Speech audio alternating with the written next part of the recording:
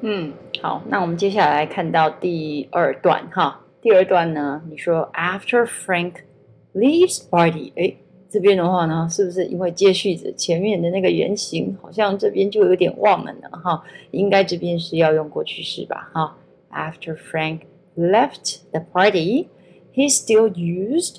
嗯，这边的话呢，呃，老师也是要再提醒一下你的这个字体哦，哈。好，呃，因为这边的话，其实我如果不稍微想一下的话，我会以为你这个是 W 呢。好，那 W 的话变成 Wed，Wed his phone。哦，哎，虽然说是手机上瘾，但是跟手机结婚好像也是有点夸张吧？哈，OK，所以呢，呃，这边要把它分开一点，写清楚一点，慢慢写。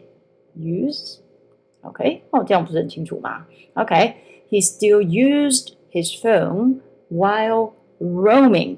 嗯，为什么要特别讲 roaming 呢？这边我有点好奇啊，哈，因为呢，他就是离开那个 party 回家嘛，哈，那回家他是要去路上乱走吗？呃，如果呢你要用 roam 的话呢，呃，要有特别想要形容那个动作，你才这样子用，哈，否则其实。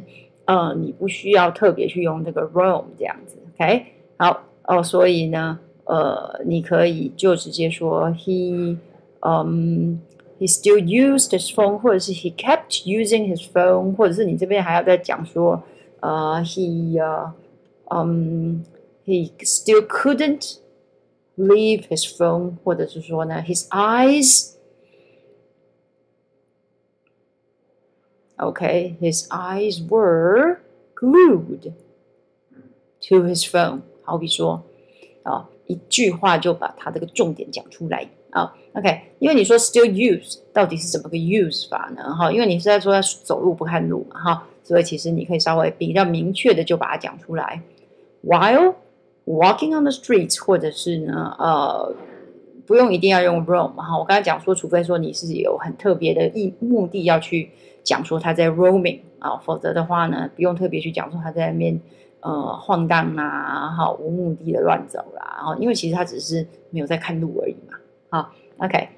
However, he didn't feel his orientation。这边是指说他没有方向感吗？还是怎么样？哈，不过这边其实并不是没有方向感哦，哈，也不是说他失去了方向、迷失了方向哦，这边只是说呢，呃，他没有。看到说他是在走到池塘的那个方向，对不对？好，所以这边的话，你你可以讲说 he didn't know，或者是 he didn't sense。OK，好，他没有去感受到，或者是他不知道 he didn't sense was he didn't know he was heading to the pond。OK，好，这样会比较好一点嘛？哈，he was heading。To the pond，OK，好，这个池塘应该怎么拼呢？哎，应该少一个 u 啊，哈，p o u n d，pound，好，p o u n d 我们是念 pound，pound 的话呢有很多意思，但是没有池塘这个字，哈，OK，好，现在好像已经没有很少看到那个化妆品的牌子叫做庞氏啊，那个庞氏那个 pond 就是这个 p o n d 啊，哈，OK，好，不过男生呢？呃，比较没有在查这个东西啦，哈。不过还是要注意到是 pond pond pond，把它念好哈，应该就不会写错了。As soon as he raised one leg, the other one，嗯，这边其实形容的还蛮生动，挺好啊哈。The other one fell, uh, stepped into the water. Sorry, OK，好，或者是说 as soon as soon as he raised one leg，或者是你说 as soon as he noticed。或者说，你说 as soon as he raised one leg, he noticed there was a pond right beneath him, and he panicked and lost his balance 之类的啊，哈，这边可以稍微加几句话呢，哈，因为你这边写的太快了，哈， 一一脚举起来，然后另外一脚马上就踩到水里面去，这边，哎，我们中文。会这样讲嘛？哈，但是我知道说很多同学在这边，其实是因为你不太知道要怎么样描写这个过程。这边很妙哦，哈，就是说呢，呃，有很多呢很高档的一些这个英文啊，哈，我们呢可能那个背太多翻译了哈。比如说，哎，什么林怀民啊，他的舞蹈怎样啦，哈，他的作品怎样？结果呢，你这个生活当中最基本的描写一个人的动作，哈，你却呢在这边会卡住啊，哈。不过这也不是你一个人的问题。OK，好，我说我再讲一遍。As soon as he raised one leg, he found，或者是 he saw the pound right beneath him。OK 之类的。He panicked and lost his balance. OK，啊、uh,，he panicked，哇，他就很紧张、很恐慌，and lost his balance, and then his other leg stepped into the water，或者是呢，呃、uh,，he fell into the water。好，或者是你说老师，我不要写的那么那个哈，你说 he raised one leg，OK，and lost his balance。 And the other one 之类的哈，但是我还是觉得我我刚刚那样讲比较顺一点哈。OK，好，呃，因为其实这边呢哈，你这样讲，you raise one leg，然后 the other one stepped into the water，这两个这两个之间到底有什么关系？其实我看不出来。把一脚举起来，然后另外一脚踩到水里面去，哎，为什么呢？当你一脚已经举在空中的时候，另外一脚还怎么踩到水里面去呢？这想起来是不是会觉得有点怪怪？其实动作不太接续啊哈！你一脚举起来，没有地方可以踩，那另外一脚怎么有办法使力踩到水里面去呢？哈，这边其实是有一点问题的啊哈。OK，好，我再问一下体育老师，可不可以示范这个动作给你看？其实好像是不行，对不对？好，OK，好啊，所以呢，也许你说，as soon as he raised one leg, he saw the pond right beneath him. He panicked and lost his balance. And he fell into the pond，这样是不是比较好一点？我想是吧。好，这样比较合理一点。OK，一样这个 pond 这个字哈，也是要注意到拼错啦。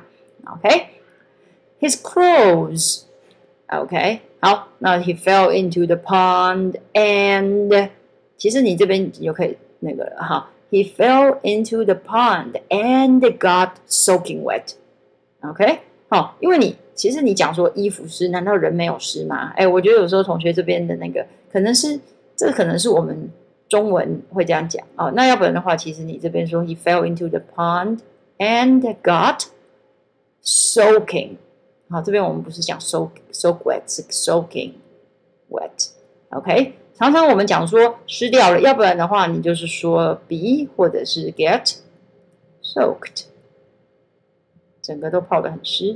要不然的话，你就是说 soaking wet，OK，这样子哈，OK，好，然后接下来我们说呢，这个 worst of all，OK，好，worst of all 这样就好了。Despite the fact that his phone had waterproof property，哎，这边的话其实不要这样写哈，你就直接说 was waterproof 就好啦。 啊，因为你讲什么 property，好像你是在介绍某个产品一样，你才会特别去用这个 property。啊，还有呢，这个 despite the fact，我想你可能是希望稍微有点变化吧，哈。好，但是呢，这个是一个讲很很日常生活的东西嘞。好，你用 despite the fact 有点太正式了。好，OK，所以你可以用 although，因为你要知道说，像这样子的哈，描写日常生活事情的文章的话。重点在于说你怎么样把那个故事好讲的呢？这个精彩生动，OK，好好，而不是说呢要用这些看起来很正式的字眼。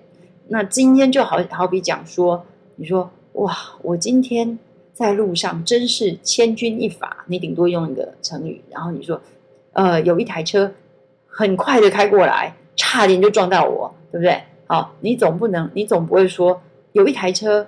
以高速向我疾驶而来，在那毫发之际，差点就让我断送了性命。你不会这样讲吧？对不对？哈，OK，因为这只是很很很日常生活的一种用法而已，哈，所以你不需要用 despite the fact，你可以说 though 或者是 although，这样就可以，哈，OK，好，OK，好，那我们呃，老师好像扯太远了啊。不过我是想说，有时候用中文讲一下呢，也许比。较你可以比较可以了解到那个差别吧，哈。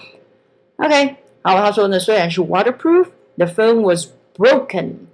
好，那这边又是一样的问题呀，哈，这边其实你就不要用 due to，对不对？哈，OK，好，那你可以说，呃，因为事实上这边的话是说，在你你也可以说 while，在敲到的时候就坏了，或者是你说 because，因为，好，但是用 due to，因为我们上次好像曾经提过说 due to 的话，后面你是直接加所谓的一般名词，对不对？好。那你为了要用 due to，特别要把后面的动词加 ing，我觉得这个是没有必要哈，这个让人家感觉好像有点很勉强哈，所以你这边可以说 while it cracked down on the rocks，好，这边要注意到你不能够 crack down 后面直接加受词啊哈，因为你 crack down something Crack down something 那是另外一个意思。啊，我们比如说我们会说呃政府要打击犯罪，那我们会说 crack down on crimes，哎，crack down 是这个意思哦，哈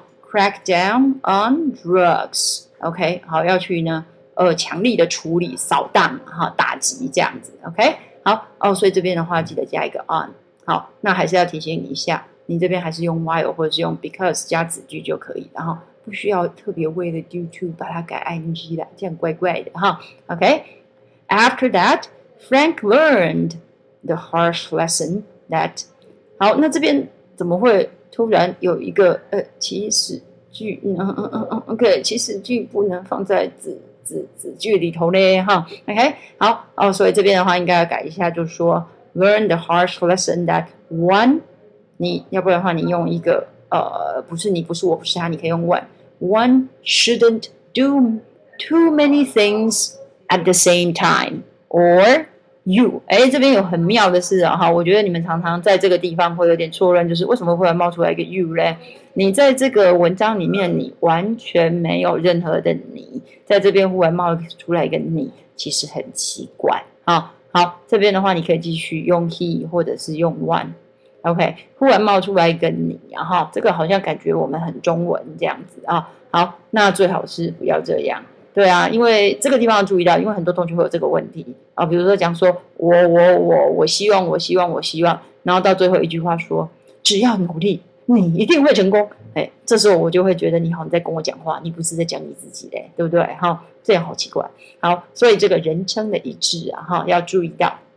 OK，好。呃，那这边的话还有一个是比较属于整体性的哈，所谓的不是在讲细节，就是我觉得你后面这一个结论有点太笼统了，好，OK，因为你前面都在讲说呢，他用手机，主要都是讲迷恋手机，对不对？手机上瘾，但是你到最后的结论却是说做事情应该要专心，这个是不是有点奇怪哈？那如果你只是讲说不能够同时做太多事的话，那变成前面是不是用手机其实不重要，你懂我意思吗？哈，OK，因为呢，如果只是在讲说每次专心做好一件事情，而那这样子的话，我前面我用什么都可以，我可以讲手机，好，我可以讲看书，我可以讲听音乐啊，我可以讲呢，呃，边走路边跟人家聊天，肯定会撞到树嘛，对不对？好，OK，哦，所以呢，最后这个结论啊，哈。似乎呢，第一个是没有办法呼应到你最原先开始讲说，